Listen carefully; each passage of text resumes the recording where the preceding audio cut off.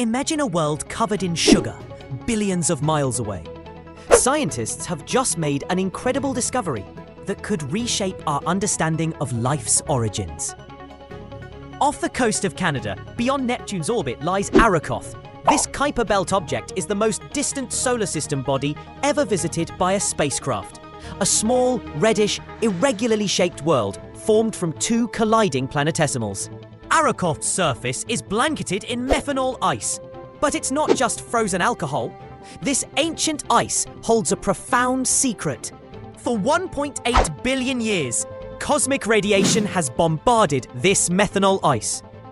This constant bombardment created something extraordinary.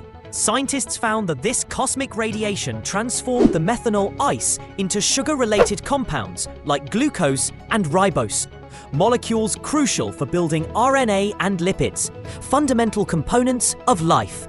This astounding finding boosts the theory that asteroids, perhaps like Arrokoth, could have delivered essential organic molecules to early Earth, potentially kickstarting the very origins of life on our planet.